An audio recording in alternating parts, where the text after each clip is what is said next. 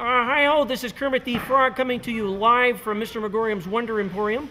Uh, hello there, Milo. Uh, from all of us here on the shoot, we just want to say we're sorry you're feeling under the weather, which, uh, which basically means that you're not feeling well, in case you don't know what that means, under the weather.